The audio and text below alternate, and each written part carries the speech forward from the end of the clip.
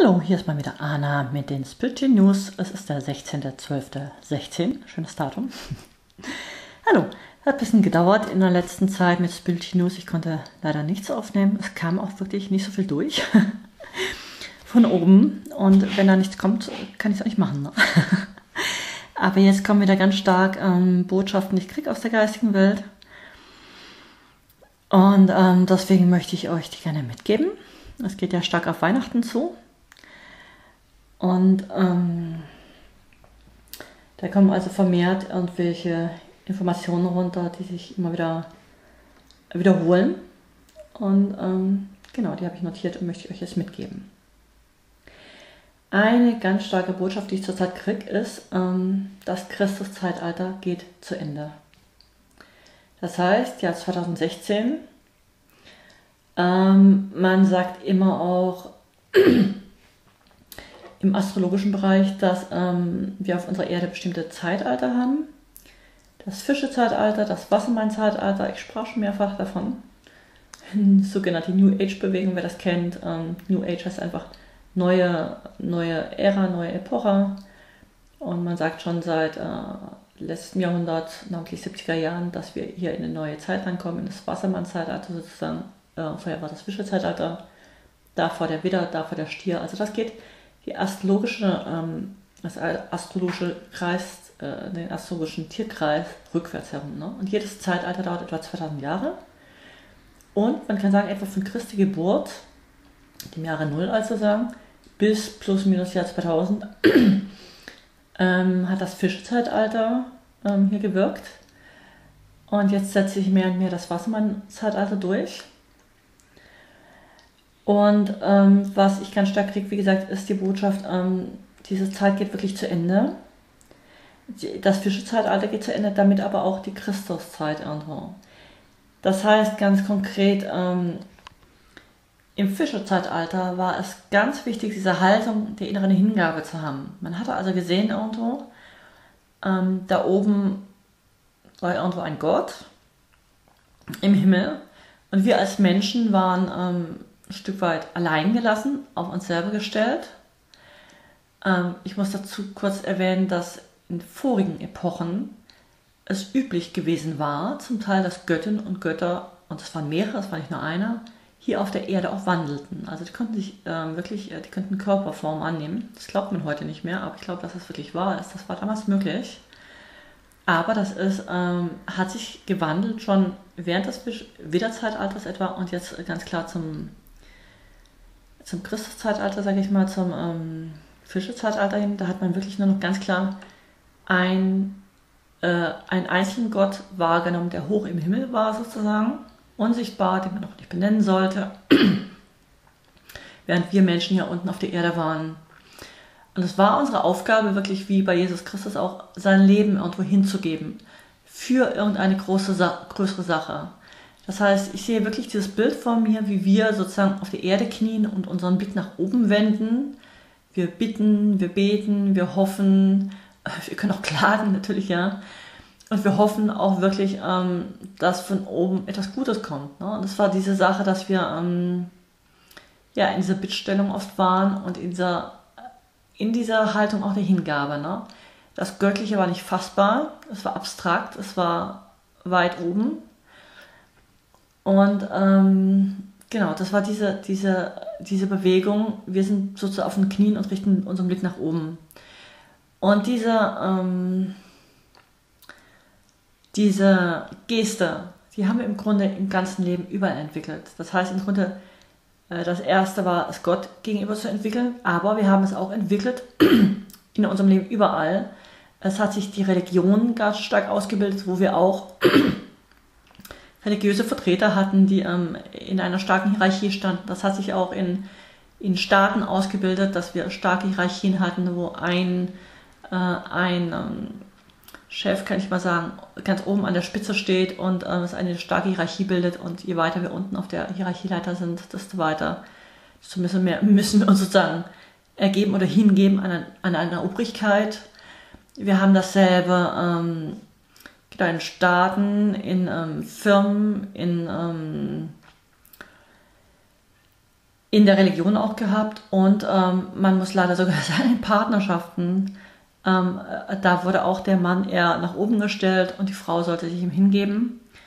Also ähm, wirklich eine klassische Hierarchie, ganz oben steht Gott, dann steht da, stand da die Religion zum Teil, dann der Staat, dann ähm, könnte ich heute fast sagen die Marktwirtschaft, also wirklich ähm, Firmen, unsere Chefs einfach und dann kommt die Kleinfamilie, innerhalb dessen immer noch der Mann normalerweise ähm, oben stand, also die Hierarchie runter. Ne?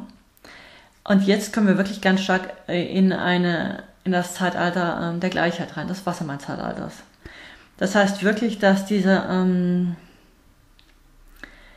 dass nicht mehr diese Hingabe gefragt ist, dieses Wenden an ein Oben, sondern wirklich ein Gleichsein. Und das heißt, das habe ich heute ganz stark durchbekommen, auch ein Gleichsein mit Gott, mit Göttin, was auch immer. Das heißt, wir nehmen nicht mehr äh, getrennt, Gott von uns war oben im Himmel, sondern es wird mehr und mehr so sein, dass wir das Göttliche wieder in uns spüren, dass wir alle das Göttliche in uns selbst tragen. Und dass wir mit Gott und Göttin, die jetzt auch wieder spürbar wird und sichtbar wird, die wurde lange Zeit ähm, nicht mehr gefühlt, gesehen, geschaut. Die Göttin, die wurde, ist ganz stark in den Hintergrund getreten, über 2.000 bis 4.000 Jahre. Jetzt kommt wieder ihre Zeit auch, wo sie wieder spürbar wird für uns alle. Ähm, und diese Kraft der Göttin und des Gottes wird jetzt auf Augenhöhe sein. Wir werden jetzt wirklich allmählich mit Gott und Göttin auf Augenhöhe sein und wir werden spüren, dass wir alle Gott und Göttin in uns tragen. Das war als Keim immer schon angelegt. Auch Jesus hat damals schon gesagt, das Reich Gottes ist in euch, es ist in euch und so werden wir Frieden finden. Aber ich würde mal was sagen, es war noch wie ein Samen, wie ein kleiner Keim und so. Und jetzt sehe ich das ganz stark, diese, diese Gotteskraft in uns allen so groß geworden ist, dass wir wirklich selber wie zu einer Schöpferkraft werden. Ne? Und ähm, was sich dabei ausbildet, ist auch, ähm, es hat viele Auswirkungen. Es hat viele Auswirkungen ich kann wirklich sagen, ich bin Reporterin der geistigen Welt. Ich sage, was da oben der geistigen Welt gerade für Veränderungen passieren und wie sich das auf uns, auf die Welt im Einzelnen auswirken wird. Das kann wirklich sich auf äh, Privatleben auswirken, auf Politik, auf Wirtschaft, auf die Natur, auf alles. Ne? Ich berichte, wie gesagt, was da oben ist und zeige euch, was da hier unten auf uns zukommt. Ähm, ich finde es eine ganz tolle Botschaft eigentlich. Denn es heißt auch nicht mehr, dass wir was opfern sollen, was aufopfern, sondern es heißt wirklich eine, eine Gleichheit. Ne? Das ist die neue Basis. Ähm, ganz stark kommt dabei auch raus, dass auch Paarbeziehungen davon besonders betroffen sind. Das heißt, ob wir es wollen oder nicht, wir können es alle nicht dagegen wehren, dass Frauen immer weniger akzeptieren wollen, dass ein Mann über ihnen steht. Also wenn man eine Paarbeziehung hat oder auch in einer Familie das spürt und so, äh, im Patriarchat in den letzten 2.000 bis 4.000 Jahren war ganz stark eben der Mann sozusagen das Familienoberhaupt, eben der Patriarch. Und ähm, man sieht schon in den letzten Jahren, dass das immer weniger für Frauen tragbar ist. Man hat das schon auch durch die zwei Weltkriege gemerkt, wo es auch wirklich ähm, ein Männermangel war und viele Männer waren im Krieg gefallen. Frauen mussten ganz stark das Land wieder aufbauen und da hat man schon gemerkt, wie stark Frauen eigentlich sind und dass wir Frauen brauchen, auf sie bauen müssen. Und äh, auch dadurch schon ist die Frau wieder in eine andere Position gekommen. Sie hat später auch Arbeitsplätze wieder angenommen, was lange Zeit nicht möglich war. Aber es ist auch eine innere Entwicklung. Frauen wollen heutzutage nicht mehr so akzeptieren, dass ihr Partner ihnen übergeordnet ist. Frauen sagen sich heutzutage ganz viel, ich mache so viel Arbeit, ich kümmere mich um das Haus, um die Familie, um die Paarbeziehung, um die Arbeit und trotzdem, ähm, wenn ich das mal ein bisschen karikieren darf, trotzdem kommt mein Mann von der Arbeit nach Hause, setzt sich einfach vor den Fernseher liest eine Zeitung und sagt kaum guten Tag. Und ich habe vielleicht auch gearbeitet, aber ich dazu putze noch, ich mache noch das Geschirr, ich kümmere mich um die Kinder, was auch immer. Ne? Das war also wirklich eine Ungleichheit, ähm, die für viele nicht mehr tragbar ist heutzutage. Ich kann ehrlich sagen, äh, nur mal als positive Vorausschau auch für die Männer, auch Männer werden profitieren von einer Gleichheit. Denn Männer haben sich in ihrer Rolle oft auch nicht wirklich wohl gefühlt. Ich kann auch sagen, äh, in Paarbeziehungen tut sich, glaube ich, sehr, sehr viel zur Zeit. Ähm, es kann wirklich sein, dass auch mal was, dass auch mal eine Paarbeziehung auseinandergeht, weil man merkt, dass man mit dem Partner einfach so nicht weiterkommen kann, weil der andere den Schritt nicht mitgehen will. Es kann aber sein, dass sich innerhalb einer Paarbeziehung einfach die Stellung ändert. Ne? Eure Beziehung zueinander will jetzt gewandelt werden. Und wohin will sie gewandelt werden? Sie will wirklich auf der Basis einer Gleichheit jetzt leben. Ne? Das ist also eine ganz starke Botschaft, die kommt. Das Zweite, was ich ganz stark kriege, ist, ähm, wir sollen das Leben durch uns durchströmen lassen. Ähm, wir sollen es nicht blockieren. Das Leben will uns eigentlich mit allem versorgen, was wir brauchen als Menschen. Mit allem. Mit allem Überfluss. Das Leben will wirklich von oben durch uns durchströmen. Wirklich, ich sehe das wirklich wie so eine, eine, eine Flut von Licht und von Fülle, die uns wirklich so wie ähm, durch den Scheitelpunkt im Kopf irgendwie strömen will. Wirklich die Fülle will den Menschen, durch den Menschen durchströmen. Und wir blocken sie momentan noch ab. Deswegen ähm, haben wir manchmal Schwierigkeiten. Kurzer Hintergrund dazu. Ähm, ich kriege die Botschaft, dass seit etwa 10.000 Jahren, das ist eine lange Zeit, sehr viele Gegenkräfte hier auf der Erde zugegen waren. Gegenkräfte, das heißt wirklich, ähm, wir haben ja also wirklich ähm, unterstützende Kräfte, wie die Engel und ähm, Krafttiere und alles Mögliche. Ne?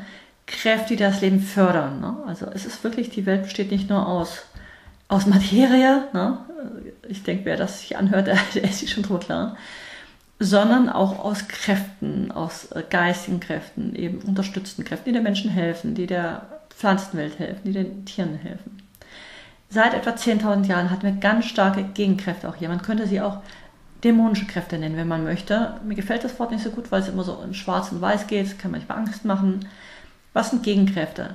Das sind Kräfte, die manchmal gegen das Leben selbst gewirkt haben. Äh, fast ähm, wie Bakterien, aber es ist, ähm, es gab Kräfte, die gegen das Leben selber gewirkt haben. Und zwar wieso und warum? Nicht um uns zu ärgern, sondern es geht wirklich darum, dass der, der Mensch sich entwickelt. Evolution, Bewusstseinsentwicklung. Der Mensch sollte im Laufe der Evolution sein eigenes Bewusstsein entwickeln und um ein Bewusstsein von sich zu entwickeln, vom Leben, über die Natur und auch über Gott, Göttin, was auch immer da ist, musste erstmal abgetrennt werden von diesem Zusammenhang. Er musste abgetrennt werden aus seinem Leben. Er musste abgetrennt werden von Gott, Göttin. Er musste abgetrennt werden von sich selber. Das heißt, diese Gegenkräfte sind wirklich hierher gekommen, äh, auf diese Erde, könnte ich mal sagen, vor etwa 10.000 Jahren, in Gestalt von wirklich, man möchte vielleicht sagen Dämonen, das ist wie gesagt immer ein blödes Wort, ich, äh, von ähm, Kräften, die manchmal sich auch als ähm, inkarnieren könnte, durch, durchaus auch als Menschen und die wirklich uns erklärt haben, ähm, dass wir nicht eins sind mit dem Göttlichen. Ne? Diese Kräfte haben bewirkt, dass wir in einen Zustand der Trennung kommen. Dass wir nicht mehr mit Gott eins sind oder mit dem Göttlichen, dass wir einen Abstand sehen, dass Gott außerhalb uns ist oder Göttin und dass wir getrennt davon sind, dass wir auch nicht mehr einfach nur mit dem Leben sind, mit der Natur, dass wir rauskommen. Ne? Das ist diese typische Geschichte auch mit dem sogenannten Sündenfall, die Vertreibung aus dem Paradies. Ähm, da sieht man wirklich in der Bibel, der Mensch war irgendwie in seiner Unschuld und ähm, irgendwann plötzlich hatte er diese Erkenntnis und kommt raus aus dem Paradies. Ne? Ähm, für mich ist das kein negativer Punkt in der Geschichte gewesen. Es ist eher ein Evolutionsschritt das witzigerweise schon vor 20 Jahren, als ich noch Künstlerin in Köln war, habe ich schon Geschichten darüber geschrieben. Es ist interessant, dass mir das Thema heute immer wieder so wieder tief kommt und mir die Engel das gleiche sagen, was ich vor 20 Jahren schon eigentlich gesehen habe. Ähm, also die Botschaft ganz stark, wir mussten getrennt werden. Äh, wir mussten aus dem Paradies rausgehen, leider, um ein Bewusstsein über uns selber zu entwickeln und auch über Gott und Göttin. Und es hat sich unglaublich viel getan in unserer Entwicklung durch diesen Schritt der Trennung. Wir haben gelernt, Dinge zu benennen. Wir haben die Schrift erfinden können. Wir haben ähm, Theater. Auch Theater ist eine Art, wie wir uns selbst spiegeln können als Menschen. Ne? Das wäre ohne Trennung nicht möglich. Ein Tier, das ist immer im Leben drin, das ist im Zusammenhang, im Zusammenhang drin. Ähm, das könnte kein Theater spielen. Ne? Die ganzen Künste haben sich entwickelt aus dem, aus dem Aspekt der Trennung heraus. Ähm, das heißt, diese Trennung vom Göttlichen, vom Leben selbst, war für uns ein, bewusst, ein notwendiger äh, Schritt, um unser Bewusstsein zu entwickeln über uns selbst. Wir haben diese Gegenkräfte, die gesamten sogenannten, gebraucht. Ne? Ähm, jetzt allerdings ist der Mensch an einem Punkt, wirklich ganz klar im Jahr 2016, wo der Mensch ein so starkes Bewusstsein entwickelt hat von sich, von seinem Leben, über die Lebensgesetze, über Gott, Göttin, das Göttliche, was auch immer, über die Natur, dass er diese Gegenkräfte nicht mehr braucht. Er hat alles entwickelt, der Mensch, wirklich. Das heißt, dass diese Gegenkräfte von dieser Erde weichen werden. Ich habe das auch schon, das Spirituino schon mehrfach ähm, erwähnt gehabt. Ich sah da schon auch im Frühjahr, Sommer, dass dieser Zug da ist und das kommt heute jetzt wieder ganz stark. Äh, und das heißt, dass der Gedanke der Trennung sich wieder aufheben wird. Wir werden wieder spüren, auch das eine Konsequenz eben für, für uns als Mensch einzeln, ähm, wir werden wieder das Gefühl haben, wir kehren wieder in die Einheit zurück. Wir kommen wieder zusammen mit dem Göttlichen. Wir fühlen uns wieder eins mit dem Göttlichen. Wir fühlen uns wieder eins mit uns selbst, mit dem Leben. Es ist ganz klar so, wir mussten, um wie gesagt das Bewusstsein zu entwickeln, äh, uns abgetrennt erleben. Aber dieses Abgetrenntsein vom Leben, auch von unserem nächsten Menschen, könnte ich sagen, vom Göttlichen, das ist das, was uns Menschen äh, Gedanken äh, gebracht hat von Mangel, von Angst, von Hass vielleicht sogar, von ähm, ja auch Mangel. Und genau dieser Gedanke des, des, des ähm, der Trennung ist im Grunde das, was Kriege hervorgebracht hat. Wenn du dir vorstellst, du bist mit deinem Nachbarn eins und hast du gar kein Interesse mit ihm Krieg zu machen, denn du bist ja eins mit ihm. Ne? In dem Moment, wo ich denke, der ist anders als ich und der ist so und ich bin so, und ähm, vielleicht ist der sogar doof und ich bin gut, oder der ist negativ, ich bin gut, da entstehen Kriege. In dem Moment, wo ich mich abtrenne von genau diesem Fluss des Lebens, von dem ich gerade sprach, ähm, und dem bremse, weil ich plötzlich denke, ich weiß es besser, ich muss das Leben kontrollieren, ich muss genau gucken, was da passiert. Das Leben ist nicht gut, Gott ist vielleicht nicht gut, das Göttliche ist nicht gut, ich muss als Mensch alles selber äh, aus mir hervorbringen. Da bremse ich diese Kraft des Lebens, die positiv durch mich durchfließen will. In dem Moment, wo ich das wieder zulasse, dass das Leben durch mich durchströmt, wird sich alles wandeln. Also diese Botschaft, wie gesagt, kriege ich schon seit einigen Tagen, Wochen ganz stark, deswegen möchte ich sie hier durchgeben. Und was besonders schön ist, das ist jetzt wirklich ein kleines Weihnachtsgeschenk, ähm, finde ich, für die Menschheit. Ich habe mich, ehrlich gesagt, mein Leben lang immer tief mit der Bibel beschäftigt. Ich hatte immer eine ganz tiefe Beziehung auch zu Gott. Und ich habe manches in der Bibel, gerade im Alten Testament, manchmal ein bisschen kritisch betrachtet und habe mich immer so bemüht, habe gesagt, ähm, das ist manchmal ziemlich hart, was steht gerade im Alten Testament. Auch diese zehn Gebote, das muss man heute schon so differenziert betrachten. Gibt es da nicht was Neues? Ne? Also so, so frech bin ich da. Äh, erstes Gebot, du sollst nicht töten. Ja, aber da muss man schon wieder sagen, ähm, in Notwehr zum Beispiel äh, bin ich vielleicht doch wieder genötigt, jemanden zu töten was ist das eigentlich? Ne? Du sollst der nächsten, das nächsten seine Frau nicht wegnehmen, du sollst deine Eltern ähm, ehren, ja, aber wo sind die Kinder? Muss ich die auch ehren? Also ich möchte ich möchte nicht negativ machen, aber ich habe immer gemerkt, für mich stimmte da was nicht mehr so ganz. Ich hatte das Gefühl, da brauchst du eine Erneuerung. Und ich habe schon lange gebeten, könnt ihr mir nicht sagen, ähm, gibt es da nicht irgendwie was Neues irgendwie für uns? Wir sind ja weitergegangen seit der Zeit der, des Alten Testaments, auch des Neuen Testaments. Wir sind jetzt wirklich ähm, über 2000 Jahre weiter als Christi Geburt. Wir sind über 2.000 bis 3.000 Jahre weiter als Moses.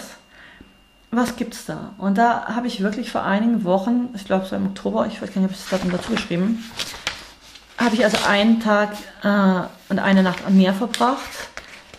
Und da ist mir wirklich ähm, was ganz Schönes durchgegeben worden. Es ist nämlich nicht zehn Gebote für die Menschen, sondern zehn Rechte sozusagen. Also, äh, nicht zehn Rechte, sind Rechte für die Menschen. Das finde ich also ganz toll. Das heißt, heutzutage jemand 2016 äh, äh, bekomme ich statt Gebote für die Menschen etwas ganz anderes durch, nämlich die Rechte sozusagen des Menschen. Man hat das mir in dem Moment durchgegeben als den göttlichen Plan, der für die Menschheit verwirklicht werden soll. Und es sind sechs Punkte und die möchte ich hier durchgeben. Das erste, alle Menschen sollen frei und glücklich sein.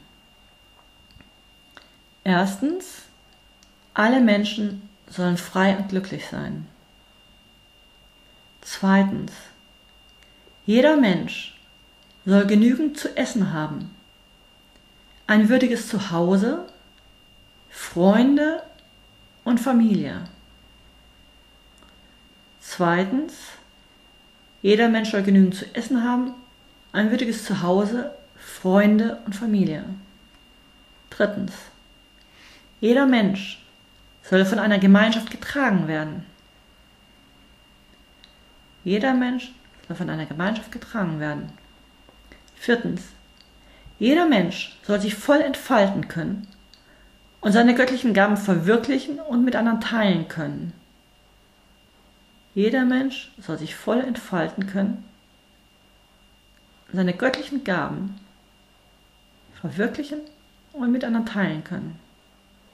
Fünftens, jeder Mensch soll sauberes Wasser, saubere Luft und saubere Erde zur Verfügung haben und auf einer gesunden Erde leben können. Jeder Mensch soll sauberes Wasser, saubere Luft, saubere Erde zur Verfügung haben und auf einer gesunden Erde leben können. Sechstens, jeder Mensch soll in Wohlstand leben und geliebt und geachtet sein. Jeder Mensch soll in Wohlstand leben und geliebt und geachtet sein. Das ist also der göttliche Plan für die Menschen sozusagen, an dem ich selber hier mitarbeiten ähm, möchte, dass er verwirklicht werden kann hier auf der Erde. Auch wenn das noch ein bisschen Arbeit braucht und Zeit. Aber die Zeit haben wir ja. Und man kann auch sagen, es sind die göttlichen Rechte. Es sind dies die göttlichen sechs Rechte des Menschen, die mir durchgegeben worden sind im Oktober 2016. Ich möchte hier wirklich weiter schenken an euch alle. Ich möchte wirklich über veröffentlichen, weil ich es ganz toll finde. Und möchte sagen, diese göttlichen Rechte, die gelten für jeden Einzelnen hier. Für jeden. Ausnahmslos.